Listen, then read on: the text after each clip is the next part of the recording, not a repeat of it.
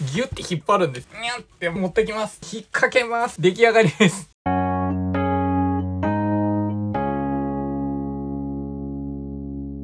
はい、こんにちは。文豪です。今日紹介するのはこちら。はい。え株式会社プラグノーツの &GO という製品です。えー、サンプルをご提供いただきましてありがとうございますということで紹介していきたいなと思うんですけれども、&GO っていう名前なんですけれども、こんなね、紙のパッケージに入っている、えー、状態で届きましたということなんですけど、これ何かというとですね、まあメーカーはパッキングニットって言ってるんですけれども、えー、具体的な用途としてはガジェットケースの類になるかなと思うんですけれども、これがまたちょっと変わっていてですね、うん、なんでしょうね。えー、ポーチでもなく、まあ、巾着でもなく、えー、風呂敷でもなくみたいな感じのですね、まあ、ちょっと不思議な感じの製品です。まあ、商品名にね、あの、パッキングニットって、えー、まあね、メーカーでは呼んでいるみたいなんですけども、パッキングニットって何だっていうことなんで、ちょっと開けてみたいんですけれども、まあ、ここにちょっと見えてますけどね、えー、こんな平たいケースに入ってるんですけど、開けると確かに、ニットですね。なんだこりゃっていうのが出てきます。なんかね、あのー、ね、腹巻きとかですね、セーターの裾みたいなところがちょっと見えてますよね。こんな感じのものが、えー、出てきます。ちょっとこれね、あの、最初に、実はこれお見せする前にちょっといじったので、ミロンってちょっとね、あの、波打ってますけれども、割と平らな状態でこれが入っておりますと。で、ここにね、まあ、アンドゴー、ね、横の、横線プラスゴーっていうのが、まあ、なんとなくここに入ってるんですけども、まあ、編み物ですよね。えー、まあ、あの、ニット帽とかそんな感じのね、雰囲気が出てますけれども、こんな形のものになってます。で、えっ、ー、と、要はこういうね、えー、まあ、これは四角ですけども、四角の形になっていて、こう一箇所こう抜けていて、ここのところが裾みたいになってるっていう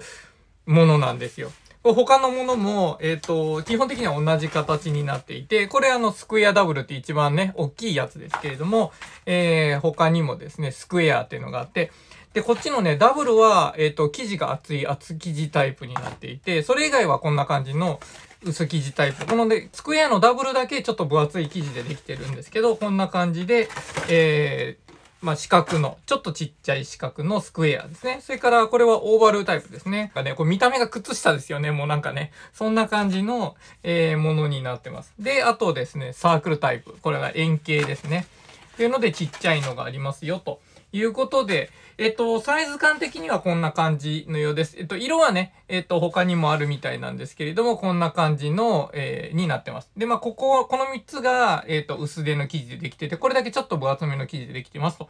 で、これなんですけども、まあ、どうやって使うのかっていうところなんですが、これね、こんな感じで伸縮する、えー、素材でできているんですね。なんで、えー、中に、まあ、ガジェットとかを入れた時に、まあ、自分でこの伸縮することによってうまく包んでくれるというケースになってるんですね。まあ、ここは開きっぱなしなんですけれども。で、それぞれちょっとね、入れ方に、えっ、ー、と、特徴があるので、一個ずつちょっと見ていきたいかなと思います。え、まずはサークルタイプですね。本当にこんな感じですね。ニット素材なので、なんかね、ガジェットのハードな感じとちょっと似つかわしくないような雰囲気は持ってるんですけども、まずこのサークルタイプですね。丸くなっていて真ん中のところがスパーッと切れていて口みたいに開いてるんですね。で、これは、あの、まあ、主にケーブル用というふうに、えっ、ー、と、なっていて、えー、ですね、まあ、こんな感じになっているケーブルがありますよね。で、ケーブルとかをなんとなくこうやってくるくるって丸めて、えー、まあね、あの、よくね、僕はあの、ここのところにですね、あの、まあ、バンドをつけて縛って、で、小さく巻いて、えー、ケースに入れるっていうのをよくやってるんですけど、この、えっ、ー、と、アンドゴーの場合はですね、まあ、ここら辺はゆるっとこんな感じにしてですね、なんとなくここに入るぐらいの大きさにこう丸めておいてですね、ここに入れますよということですね。あんまりここで、えっ、ー、と、細かいことをあれこれやらない。もうそのまんま入れてしまうと。で、入れて、えー、この枠の中にはまるようにこう入れちゃう。ね。スパッと入れるとですね、まあ、こんな感じでですね、えっ、ー、と、自分で閉まってくれるので、まあ、こんな感じでですね、えー、適当に入れたケーブルが適当に入っているという感じですね。なんで、まあ、この中にさらにケーブルを足したいという場合でもですね、例えばこういうね、えー、新たにケーブルを足したいみたいな時にもですね、まあ、これを、まあ、何本あってもですね、大体こんな感じで、ゆるっと巻いてあげてですね、あとはこの中にこうやって入れればですね、はい、これで終わりということで、はい。これでケーブル類はこうやって持ち運びましょうっていうのがこのサークルタイプですね。まあ円形タイプになりますということですね。大体このぐらい、えっ、ー、と、まあ、110×110 ってことになってるんで、ここのね、直径が11センチっていうことなので、まあ、こんな感じで手のひら型ではあるんですけれども、まあ、むしろあんまり細かく巻くよりも、この周に沿った形でいっぱい入ってる方がいいかなと。で、まあ、あの、たくさん入ってるケーブルをこうやって出してあげればですね、まあ、何本でもこう適当に入りますよという感じで、えっ、ー、と、入れることができます。まあ、中身の形に合わせて、えっ、ー、と、外がフィットしてくれるので、まあ、そこら辺がいいところかなというふうな気がします。で、えー、またですね、まあ、戻す時にもですね、まあ、なんとなくこうやってね、あの、くしゃくしゃっとやってですね、えー、ある程度、まあ、こうなっていればですね、まあ、こうやってかぶせてあげればいい感じかなっていうところですね。こうやってはめると、えー、かぶせられますよという感じですね。ふむふむっていうね。で、まあ、中身に、まあ、フィットしてくれるので、まあ、こんな感じで入れていけばいいかなと思います。多分ね、これコツは全体的な外形がうまくできていれば、それを包んでいるだけなので、この中に入れたいケーブルの、えっ、ー、と、一番大きいやつの巻き加減をなんとなくこの、えー、外側として決めると。そうするとこれが形になるので、その形に合わせて、えー、なんとなく周りのものが決まってきますよって感じかな。なんで、一番大きいケーブルをこうやって、えー、うまくここにパカッとはめてあげると。これでも緩いぐらいですよね。こうやって入れてあげます。で、それ以外のものはですね、まあ、この中にどんどん入れていけばいいかなと。で、こうやって入れるとですね、まあ、中にいろんなものが入っていきますよという感じですね。まあ、これがあの、えっ、と、サークルタイプの基本形です。実は他の使い方もちょっとできるんですけども、まずはこんな感じで、えー、物を入れることができますよという感じで。まあこうやってあげればですね、えー、適当に伸縮してくれることによってうまくこう形ができてきますと。これでこのまんまあのね、バッグの中に入れたりとかすることができます。ね。これはサークルタイプですね。真ん中に空いてるタイプです。あとこっちはですね、まあ、スクエアタイプという形でこんな感じになってるんですけど、スクエアの場合はこんな風に開いてて、サークルの場合はこの丸の真ん中のところに切れ込みが入ってるんですけれども、スクエアはちょっとずれたところに入ってます。これ、あの、まあ、止め方がちょっと変わってるんですけれども、この中に、例えばこういうね、ガジェット入れたいですということで、まあ、今回は、えっ、ー、と、例えばこういうね、充電器とケーブルみたいなものを一緒に入れる。で、あと、まあ、ケーブル他にもあるよ、みたいなものをまとめて入れたいって言った時に、こうやってポンって入れたらポンって入るんですけれども、ケーブルも一緒に入れましょうと。で、あの、これ別に、こうやって適当に突っ込んでも全然構わないんですけど、こうやってケーブルと、えー、ガジェットを入れましたよという感じで、これでも全然入りますと。で、えっ、ー、と、今回これの特徴としては、この真ん中あたりのところで折り返しますよと。で、この折り返して、これをね、ちょっと平たい状態の方がわかるな。えっ、ー、と、まあ、わかりやすいのは、まあ、これだけでちょっと、まずはね、やってみますけども、中身を入れました。入れたらですね、これ半分に折りますと。ね。半分ぐらいに折ります。まあ、ちょっとあのね、中身が大きい時は伸縮させながらですよ。これ半分に折ってですね。そうするとこのポケットのこっち側ですね。ちっちゃい方のポケットは実はここに裏返して引っ掛けるためにあるんですね。なので、ここの部分を裏返して、裏返しながらですね、ここのえっ、ー、と、端っこの部分をこう引っ掛ける感じですね。で、引っ掛けてあげると、こうやってあげるとですね、えっ、ー、と、今、ここですね、こっち側ですね、ポケットが、ちっちゃい方のポケットは、ここに引っ掛けて止めるようなんですね。で、まあ、こんな感じの、えー、止め方で止めることができます。うんとね、イメージとしてはですね、あの、布団カバーの端っことか、こうやって引っ掛けるよね、みたいな。ちょっとここの角の部分にですね、こう、裏返したところをですね、入れてですね、ここの角に引っ掛けるんだよね。であげると、うまく止まりますよということで、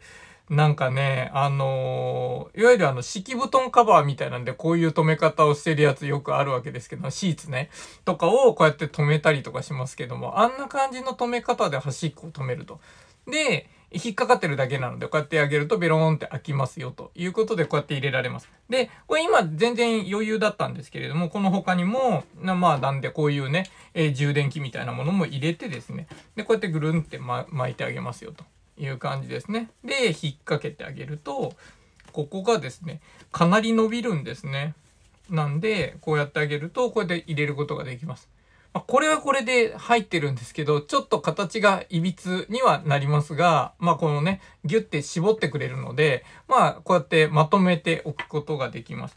ちょっと慣れてくると、実はどうやったら綺麗に入るかっていうのがちょっと分かってくるわけですけど、そうすると、今度はこれを巻くときに、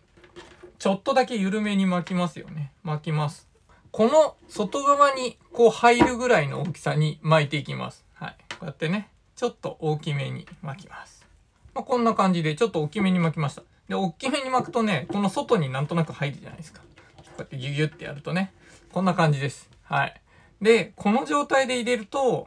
よ、ね、横幅ちょっとね、張るんですけども、こうやって入れるじゃないですか。で、入れてあげると、こうなんとなく平らな形に収まるので、で、この状態でひっくり返しますよと、ギュッと。ひっくり返して引っ掛けます。で、こっちも引っ掛けます。よいしょ。引っ掛けるとですねおちょっとねここにあの 反対側のですねあの口金が出ちゃいましたけども口金の部分がこうね外に引っかからないようにちょっと中に押し込みながらですねこうやってあげるとですねほらこうやるとですね割と平らな形で、えー、こんな感じですね。綺麗に、えー、収まりますよね。収まりどころみたいなのがなんとなく慣れてくると綺麗に入れられるかなという感じですね。でこれがあのガジェットとか入れるのにこの四角いタイプとかはいいかなと思います。あとですね、これオーバルタイプですね。さっき靴下とか言いましたけれども、こんな感じになっていてですね、まあ、割とこれもこんな感じでよく伸びます。で、これも全く同じですね。まあ、ここの上の部分ですね。上のこうなっている部分をですね、まあ、こう折り返して、折り返したところに、この、反、まあ、そっか、反対側を、まあ、イメージとしてはここに突っ込む感じですね。まあ、実際はこっち側には中身が入っているので、まあ、ここのところでこうやってこう、被せるわけですね。あの、まあ、まさに靴下とかで、あの、こうやってまとめません？あの、左右の靴下とかこんな風にしてこう止めたりしません？あんな感じですよ。あんな止め方です。なんで、もう本当にそんな感じ。で、ここのところがですね、まああるので、ポケットがあるので、この中にいろんなものを入れます。まあ例えばですけどまあ、私だと、いつも持ち歩いてるものに、まあただね、えー、手拭い。それから、まあ、塵紙いりますよね。で、それからあとはですね、まあ最近ちょっとあの、ほら、咳込むと色々と問題があるので、えー、こういう龍角散のですね、喉スッキリタブレット。あと、まあ花粉のシーズンなので目薬と、あと、レン、まあメガネの人なんでね、僕あの、レンズ拭きとかをですね、いつもこの辺はですね、あの、持ち歩いているポーチの中に入ってるんですけど、これガチャガチャするの嫌じゃないですか。で、バラバラになってガチャガチャするの嫌なので、まあこういうものはですね、まとめてこんな中に入れてしまおうという感じで、ね、こんな感じで開けてですね、ここにギュギュッと入れます。まあ、この中に入れます。まあ、多少不定形でもなんとなくうまく入るので、こんな感じで押し込みますよと。ね。こんな感じです。で、あと、まあ、こういう立体物とかでもいけるし、まあ、この中にね、イヤホンとかね、そういうやつとかも全然入るかなと思います。で、こんなに入れてですね、入れたらひっくり返して、これをね、えー、反対側をひっくり返してですね、これを引っ掛けます。よいしょ。はい。ぎゅっと引っ掛けてあげるとですね、まあ、こんな感じで、はい、えー、形になりましたよ、ということで、まあ、これでこう止まってるわけですね。で、これを、まあ、ポーチの中とか、カバンの中とかに放り込んでおくと、使いたい時にはパカッと開けると、まあ、必要なものが何でも出てくるよという感じですね。まあ、取り出したら取り出した分だけ、えちっちゃくなりますよと。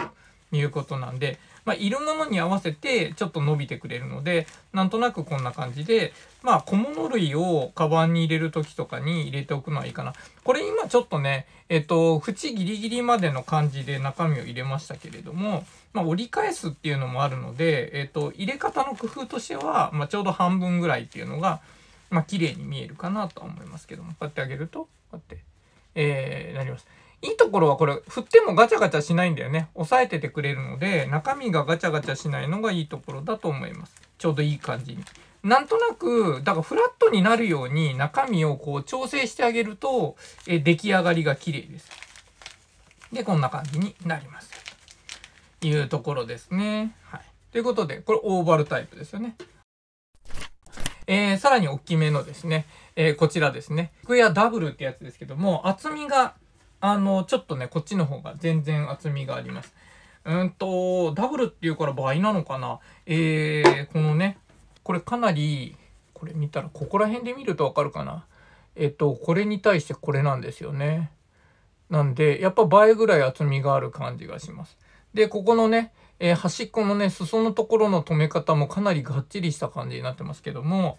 はい。で、これは本当にね、えっ、ー、と、質感的には、こっちが、うんと、まあ、ハンドタオルとかそんな感じのあのね、え携帯用のハンドタオルみたいな感じですけど、こっちはですね、まあ、薄めのニット帽あるいはこの腹巻きっていうですね、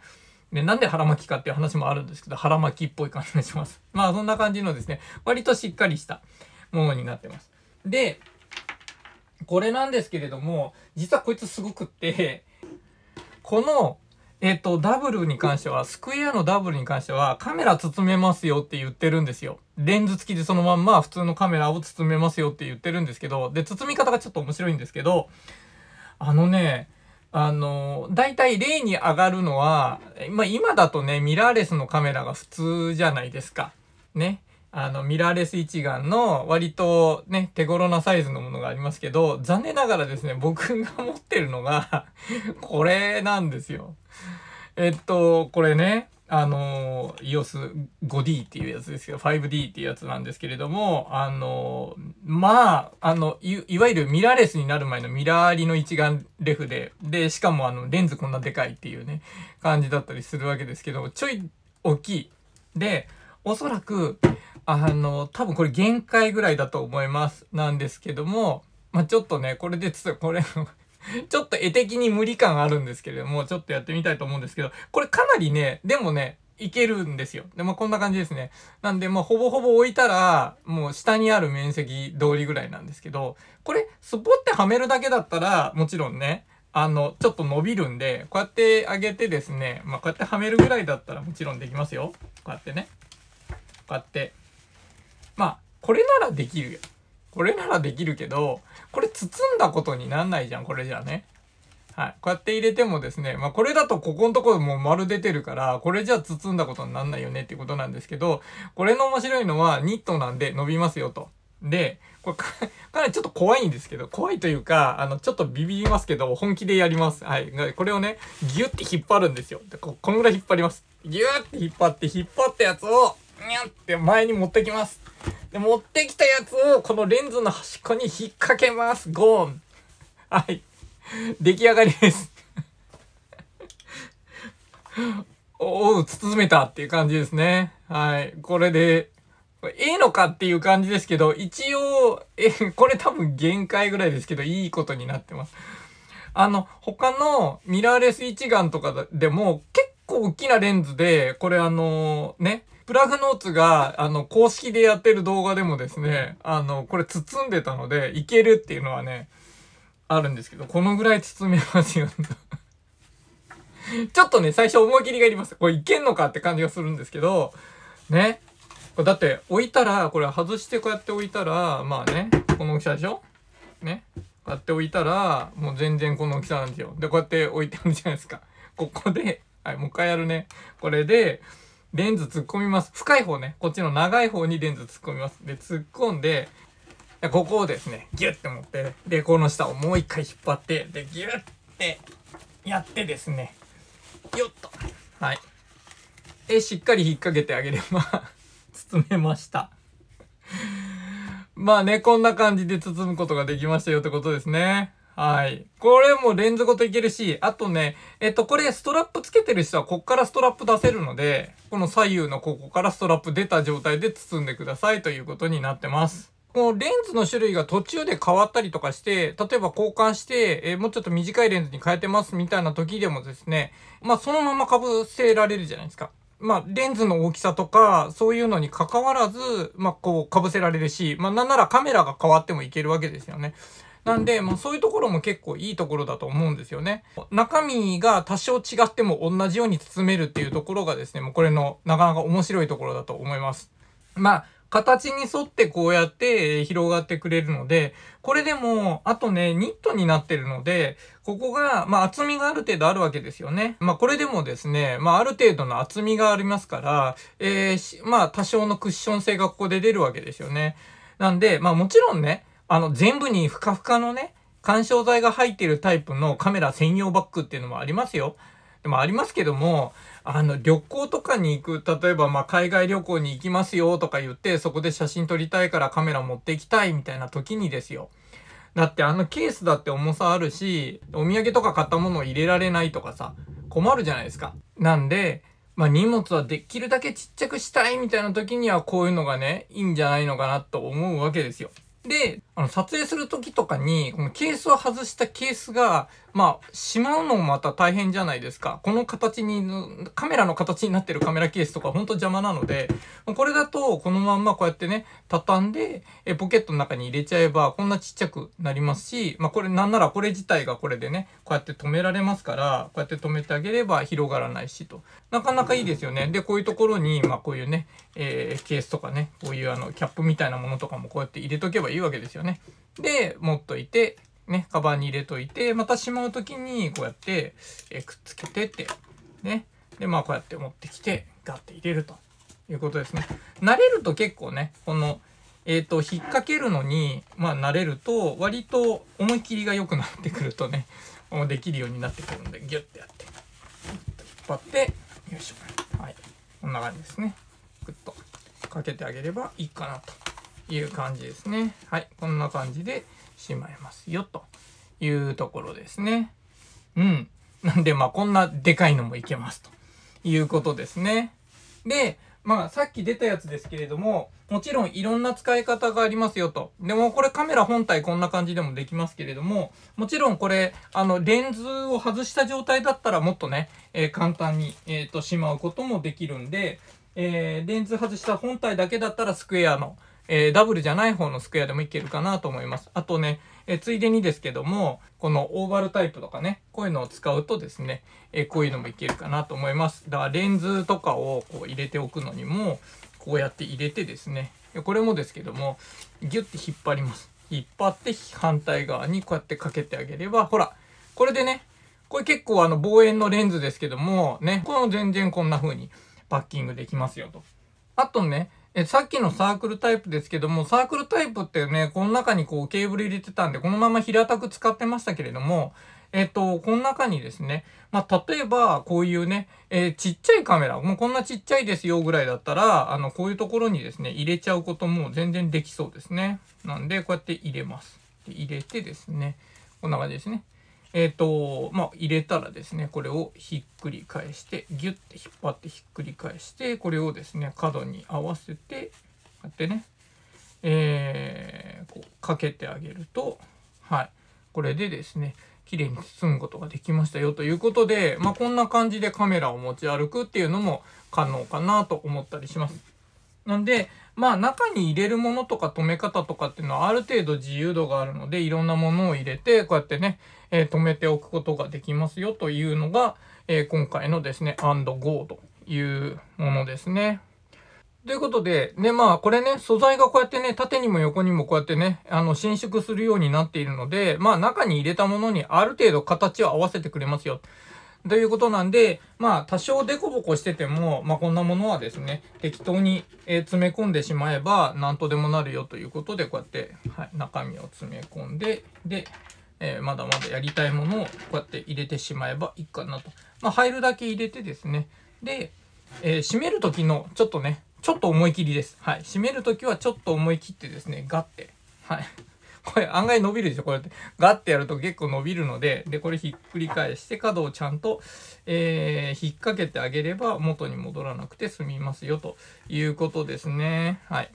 こんな感じです。はい。ということで、これで電源でしょ？で、ケーブル類。で、カメラが小型のカメラとレンズとカメラみたいな感じで、えー、入りました。こっちが、えー、スクエアダブル。で、これがスクエアですね。それからこれがオーバル。で、これがダウントのタイプでですね、まあ、それぞれカメラやなんかを入れることもできます。まあ、注意点としてはですね、僕こういうですね、ケーブルといえば僕こういうのに留めてあるんですけれども、これはあんま良くないです。あの、ベルクロはちょっとやめた方がいいかなと思います。これ引っかかるんで、マジックテープ系のこういうやつは、ここに引っかかっちゃうと、この繊維に引っかかってピッて細いのが出てきちゃったりすると良くないので、引っかかりそうなのでやめた方がいいと思いますっていうのが、あります。ま、その代わり、だからこういうのつけなくても、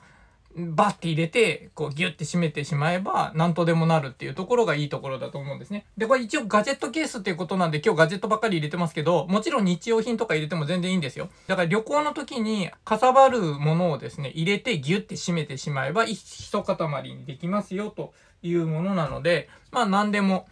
えー、身近なものを入れとけばいいかな。だからこの一つにまとまるっていうのと、どんな形でもそれなりにフィットするっていう良さと、それから多少のクッション性があるので、えー、まあね、あの保護する役割も果たしてくれるよっていうところの、まあバランスがちょうどいいかななんて思ったりしますと。で、まあこれ布製なので、布製というかまあね、編み物なので、えー、これってまあ使ってればもちろん汚れますよね。で、汚れてきたらどうするかってことなんですけど、これネットに入れて、洗濯ネットに入れて洗うと、えー、洗濯機で洗えますということで。まあ一応洗濯のね、注意点は書かれておりますが、洗濯用のネットに入れて洗うことができますってなってます。で、えっ、ー、と、色落ちの心配がないので、衣類などと一緒に洗えますということだそうです。ね。これもちょっとすごいんですけども、色落ちの心配。これ、こんな派手な色だけども、色落ちしませんよということで、かなりしっかりした染色がされていますということですね。塩素や蛍光漂白剤が含まれない洗剤を使用してくださいと。あと、長時間の高温タンブラー乾燥。で、乾燥機ですね。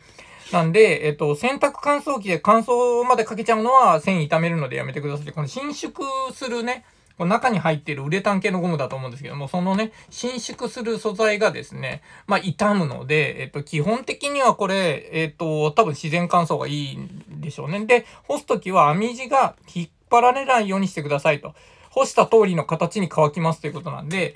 出してきて、まあ、乾かすときですね、平たいところに平らに伸ばしてですね、まあ、その形でえー、まあ、テンションのかかってない状態で乾かすというのがいいのかなと思います。なんで、まあ、あの、洗濯して出てきたらですね、平らにしてあげるといいのかなというところですね。で、あとですね、あの、注意事項の中にあったんですけど、使ってて伸びちゃった場合、伸びきって戻らなくなった場合は、っていうことが書かれておりまして、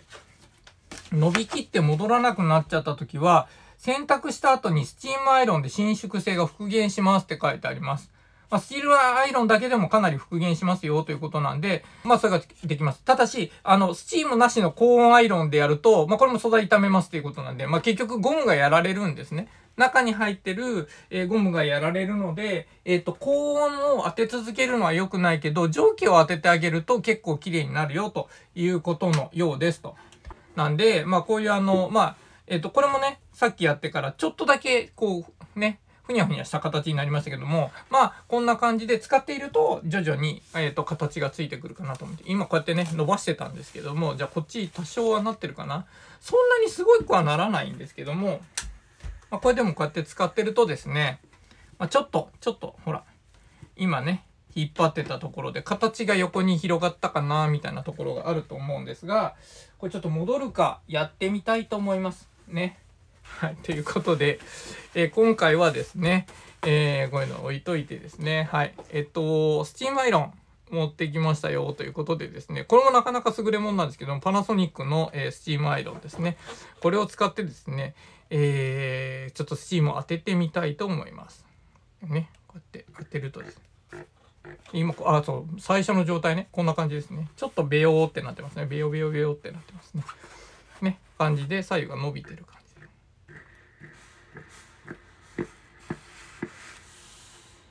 よいしょ。よ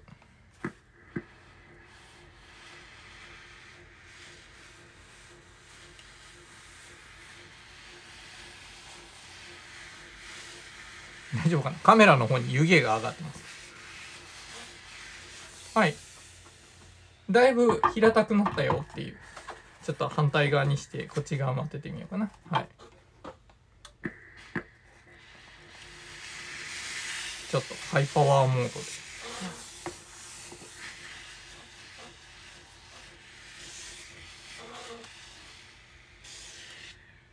はい、ということで、スチーム当てました。ほら、平たく戻りましたよ、という感じですね。はい、ということで、まだちょっとしめしめしてますけど、湿ってますけれども、ね、これで、はいと。いう感じで平たく戻りました。こっち、多分スチームの当て加減の問題で、こっちが、こっちがよく戻ってますね。なんですけども、こんな感じで平たくなります。ということでですね、まあこんな形で、えー、平たく戻りましたよと。ね、結構綺麗になりましたね。ということなので、まああのね、いつもやんなくてもいいと思いますけれども、ちょっとね、えー、伸びたなーってなった時にはですね、蒸気当ててあげるとこうやって戻りますということで、使っていて伸びてきた場合には、えー、スチームアイロン当ててあげるといいかなと思います。で、まあ一回ね、洗濯をして上がった時に平らに伸ばしておいといて、スチームアイロンかけてあげるっていうのが一番良さそうな感じだそうです。ということですけれども、まあそんなに気にしなくてもいいかなと。普段はね、あの、だいぶ伸びたなっていう感じがするまではほっといてもいいかなと思います。普通にこんな感じで使っていけばいいのかなと。えー、まあ何でも入れられるんで、まあ何を入れるかはあなた次第みたいなね、えー、ことにはなるわけですけれども、物自体が結構ガジェットをイメージして作られているところがあるので、ガジェット類を入れるのにとてもちょうどいい大きさとか、えっ、ー、と、仕様になっていると思います。で、この4種類のサイズと、あとは色がいろいろあります。あとちょっとね、この製品のね、そもそもみたいないろんな話なんですけれども、ちょっと面白かったので紹介したいなと思うんですけど、これ2019年から出ていたんですね。僕もちょっとね、最近まで知らなかったんですけれども、クラウドファンディングなんかで結構人気だったみたいですということでですね、今普通に販売してるんですけれども、こういう伸縮素材で、まあ最初ね、腹巻きみたいだよねっていう話はしたんですけれども、新潟県の長岡市の土地を地域で作られてますと。まあ、あの、以前は土地尾市って呼ばれてたとこですけども、あの、2006年に新潟県長岡市の中に入ったので、えー、今は新潟県長岡市の土地尾地域っていうことになってますけども、土地尾といえば僕が知ってたのはね、土地尾揚げぐらいですけどもね、あの、油揚げにネギとね、鰹節を乗せて食べるあの土地を揚げがうまいっていうので、結構あの飲み屋とかでね、割と定番メニューになってるところもありますけれども、まああの土地を揚げの土地をですよ。土地をって、まあ昔から繊維関係のですね、生産が盛んなところということでですね、まあその中にある、まあ製造してるのはね、白倉ニットっていう会社が作ってるんですけども、実はですね、この製品の前に、えっ、ー、と、作った人気商品っていうのがあって、それがですね、ほぼ日の腹巻きなんですよ。あの、ほぼ日成長のほぼ日ですね。あのほぼ日が出した腹巻きっていうのを出して、なんか唐突に腹巻きが出てきて、その時の腹巻きを作ってたのが、この白倉ニットという会社で、もともとはなんかセーターとか作りませんかって言ったみたいなんですけども、ほぼ日の方からはですね、えー、まああの糸井さんのことですからね、えー、腹巻き作りましょうみたいな提案が来て、で、腹巻きになったと。で、作ってみたらすごい売れたっていうのが、まああったりとか、で、このアンドゴーを企画したプラグノーツの代表が白倉さんっていう方なんですよ。で、この白倉ニットの、まあ、多分社長の息子さんなんですね。で、一回その白倉ニットに、えー、就職するんだけれども、その社員時代に、ほぼ日の、あの、まあ、大ファンだったということで、ほぼ日にアプローチして腹巻きを商品化すると。いうことで。で、作ってみたらもう大ヒットしたっていうことなんですよね。で、その後に、まあ、いろいろあってですね、まあ、大学院に通い直したりとか、まあね、材料の研究をしたりとかですね、クリエイター系のシェアスタジオに参加したりとか、まあ、いろいろあった後に起業したのが今のプラグノーツで、で、商品開発のコンサルティングとかをやってるわけですけれども、まあ、ここでその実家の技術でなんか作れないかということでできたのがこのアンドゴーという製品なわけですよ。で、デザインをしたのも、またこれまた、新潟のですね、長岡にあるデザイントークという会社の宮田理恵子さんという方で、まあすべて新潟発信ということになってるわけですよ。で、このアンドゴーなんですけれども、まあ、メーカー動画ではね、ホールガーメントという特殊な製法で編んでいるので、まあ、この縦横360度どっち側にもこう伸びますよ、みたいなことがね、えー、イメージ動画にあるんですけれども、ホールガーメントっていうのは、ホールっていうか全部で、えっ、ー、と、ガーメントっていうのが一着の服っていうことですね。まあなんで、ホールガーメントっていうのは、まあ一着の服全部が一個でできているみたいな感じの意味合いかな。まあ、あの、とにかく縫い目をつけずに、だから別々のパーツを縫い合わせるんじゃなくて、全部が一個の塊でできているよっていうものなんですけど、あの、今のコンピューター技術でできるようになった編み方で、コンピューターと連動してるすごい編み機があって、で、複数のスタート糸口。まあ、糸口はいくつかあってもいいわけですけども、それぞれから編んできたものが、あるところで合流したりとかして、一個の塊になるんですね。で、縫うっていうのは別々のものをこう合わせて、ここでミシンで縫う、みたいな感じで、別々のパーツを別々の、こう、ものでこう、ね、くっつけるんですけども、そうじゃなくて、こう網っていうのは、編み物っていうのは全部一本の糸じゃないですか。で、一本の糸からできてくるものを、まあ、複数のね、まあ、よくあの、ニットなんかだと、あの、継ぎ目のないニット最近あるじゃないですか。袖と、えー、本体が全然別々に、こう、筒状に編まれてきたやつが合流して一個のこうね、袖がこうくっついて一個にまとまるみたいなのが、それが縫い合わせじゃなくて編み込みで全部できちゃうんですよね。みたいなことができる、まあ、やり方があるんだけど、まあ、そのすごい編み機を使うといろんな複雑な編み方ができますよというやつなんですね。まなんで、継ぎ目のないセーターとかいろんなものを作るのに使われてる、まあ、技法ではあるんですけども、その高性能な編み機を駆使すると、まあ、高度で立体的な編み方がいろいろできますよと。で、まあ、このアンドゴーみたいに、まあ、縦横どっちからでもね、こう引っ張っても伸びるみたいな編み方とかいう、ここのね、あの、く、この形ですよね。構造がすごくね、えー、特殊な構造も作れるようになってるんで、ここはね、白倉ニットの技術ということなんですけれども、まあ、このね、えー、その機械を使うことによって、この、えー、どっちにも伸縮しやすい構造ができますよということですね。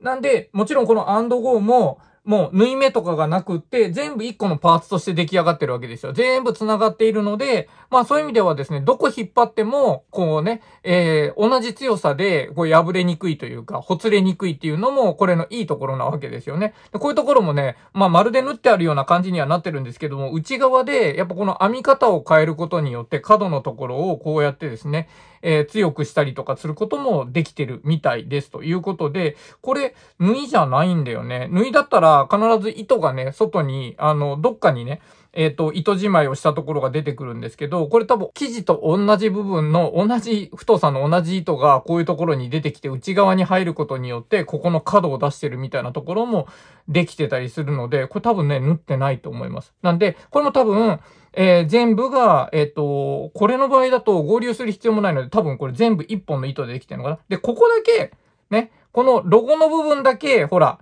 外から入ってきてる糸でできてるじゃないですか。で、これは後から入れたやつで、まあ、これも、別にこれ縫ってるっていうよりは一緒に編み込まれてますよね。で、こういうところに、まあ、糸じまいこんななんですけど、まあ、そんな感じでですね、アンドゴーって出てますけれども、これも、まあ、ここだけね、だから、まあ、別糸ですよね。なんですけれども、それ以外は1個の塊になってますというのが、まあ、このね、えー、まあ、ホールガーメントでできているこのボディということになるわけですね。だから、まあこういうね、ギューって引っ張ったりした時に丈夫なわけですよ。どっかからほつれてきて、まあ分かれていくってことになりにくいということですよね。そのホールガーメントを使った立体的な編み方を使うことによって、このどっち側にも伸縮できますよっていう構造ができてる。まず構造が強いんですね。ただそれだけじゃないんですよね。これ使われてる糸とかも、やっぱりすごくって、糸もね、なんかこのほら、ちょっとボヨボヨした感じがするじゃないですか。わかりますかね？糸も、このただね、細い、一本の細い線ではなくて、なんか、ぼよぼよしてるじゃないですか。このよれてる感じがあると思うんですけども、このよりっていうのも、またこれまたね、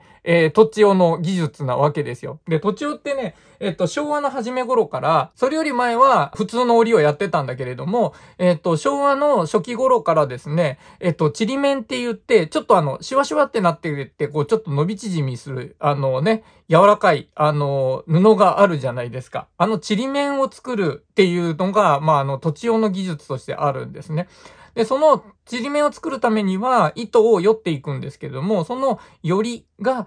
えっと、ちりめんの布の、まあ、この、こう、ボコボコした感じですよね。あの手触りと、それからちょっとした伸縮性を生むわけですけども、それがここにも生きてるわけですよね。なんで糸も、えー、よりがあることによって、糸自体も伸縮性が強くなりますよと。もちろん中には、えっ、ー、と、最新のですね、まあ、あの、多分これ、あの、成分表示がウレタンとポリエステルになってるので、多分ウレタンゴムが入っていて、そのウレタンのこの伸縮性っていうストレッチ素材っていうのももちろん生きてるわけですよね。なんでそういう最新のものもあるんだけれども、その糸自体をこのヨレヨレの状態にする、酔っている状態にするのが、これがですね、土地用で昔から行われてきたちりめんの技術なんですよね。新旧両方の技術を使って、この糸自体の伸縮性をこうギュッとね、こう伸びる糸を作ってる。で、それを、えー、ホールガーメントの技術で立体的に編むっていうのをやってあげて、このね、あの、構造としても糸としても引っ張れるようにしてますよということなんですよ。ね。なんで、素材と糸と網の構造全部を使ってこの高い伸縮性っていうのを出すと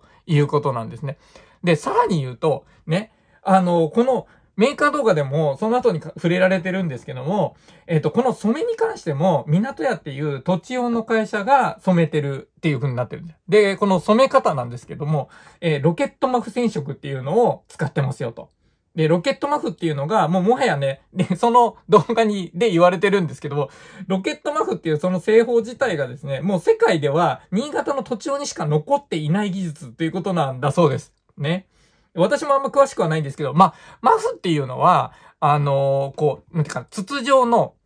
あのー、昔の人がさ、あの、寒いところに住んでる昔の人がね、あの、筒状の、まあまあ短いちくわみたいな形の筒状のさ、もふもふのやつに、こう、両手を突っ込んで温めるっていうのがあるじゃないですか。まあ、手袋じゃなくて手をぬくめるための、まあ、筒状のなんか、もふもふっとした、まあね、あの、短いちくわといえばあれですけども、そんな感じの形のものっていうのを両手でこうやってこう手を入れて温めるっていうのがあるんですけど、あれマフって言うんですけども、あんな形に糸をこうね、あの、だから、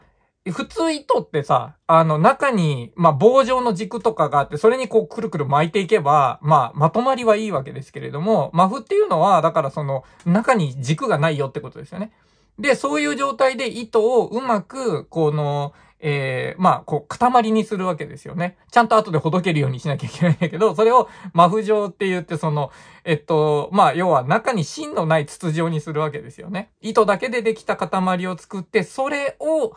ぼちゃんってこうね、せあの、染色するわけですよ。で、あげると、要は、染色した時に糸が縮んだり伸びたりとかしたりした時に、中に軸があってそこに綺麗に巻かれていたら、ギュってなったらテンションかかっちゃうじゃないですか。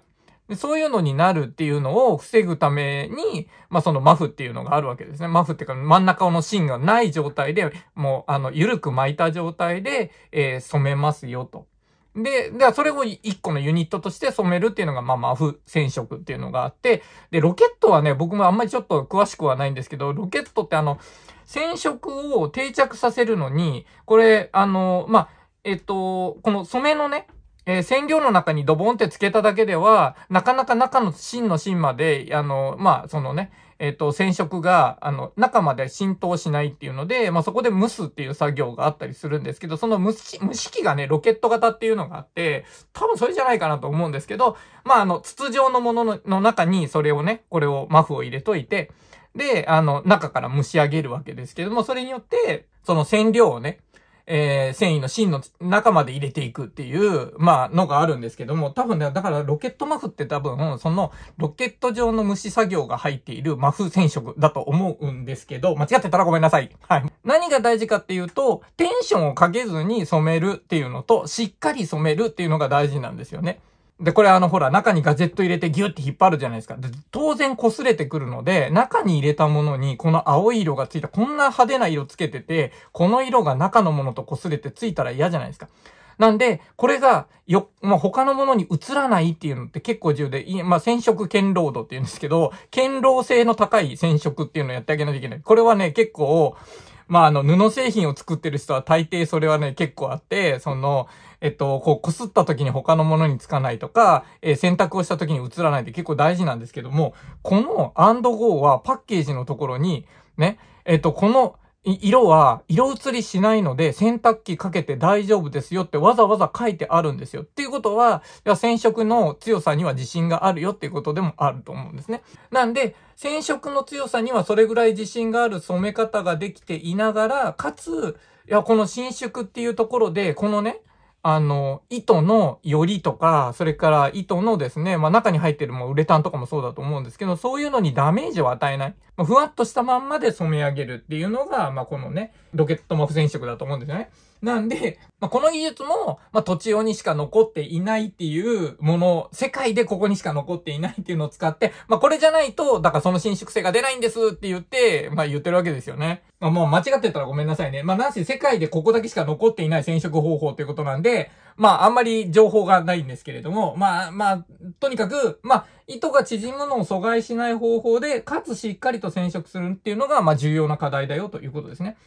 で、多分その染めに自信があるからこそ、まあ、こんなにね、えっ、ー、と、強い色、こんな派手な強い色がついてるのに、パッケージには色移りしないので選択できますよって書いてあるわけですよ。まあ、それも、えー、土地用の技術ですよ、ということですね。いろいろとね、伝統工芸とか地場産業とかそういったものを現代的なプロダクトにアップデートしていこうっていう試みっていうのはいろんなところであるわけですよ。ね。もう本当に今全国の伝統工芸みたいなところが、まあそのね、製品作りっていうところで新しいプロダクトを作ろうとしてるんだけども、まあそんなところにね、だからデザイナーとかディレクターとかいろんな人が入って新しいプロダクトを作るっていう試みは、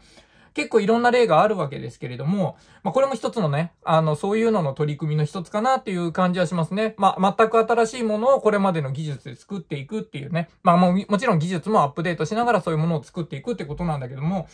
ただね、まあ、その中でも、この、アンドゴーのプロジェクトっていうのは、だからまあ、当事者が頑張ってるからめっちゃ強いじゃないですか。ね。企画から糸、編み、染め、デザイン、すべて土地を、あるいは新潟の伝統と技術と、あと人が作った新しいプロダクトということで、まあ、なかなかそこら辺がね、素敵じゃないですかっていう風に、まあ、ちょっとね、あの、新潟の産業系のホームページみたいなのがあって、そこにね、インタビュー書かれてたのを見て、あ、あ、そういうことなのね、みたいなのもあったりするし、そのプロモーションビデオを見てたら、まあ、プロモーションビデオの中に、まあ、企画をしたプラグノーツの名前が出てくるのは当然なんだけども、それを作っている工場としての白倉ニットとか、それから、その港屋とかね、そういうところの名前がちゃんと出てくるんですよ。そういうのを見るとですね、地場の産業があるところでみんなでそうやって作ってきたんだなっていうのが分かってですね、まあなかなかね、そういうのも含めて、これなんか面白いなと思いました。まあそうやってね、まあいろんな人たちが関わったことによってですね、まあこういうちょっと面白いアイテムが出てきて、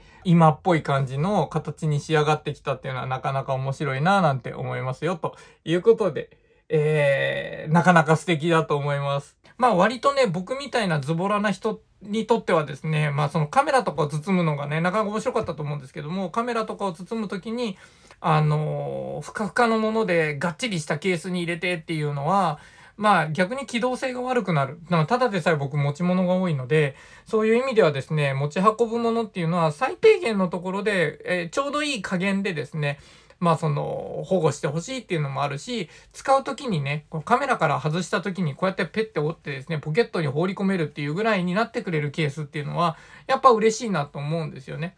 なんで、まあそんな感じでこのね、伸縮性っていうのをうまく使ってるところがなかなかいいなというふうに思いますと。まあ今回はね、えっ、ー、と、ちょっとまあガジェットケースではあるんですけれども、もちろんこれあのね、えっ、ー、と、ガジェットに限らず入れるものなんか思いついたらですね、えー、使ってみてもいいんじゃないのかなというふうに思いますよということで、これはね、あの今後ちょっと出張の時なんかにね、え活躍してくれればいいなと思いますということで、もう早速これをね、使って出張する機会をもうちょっとね、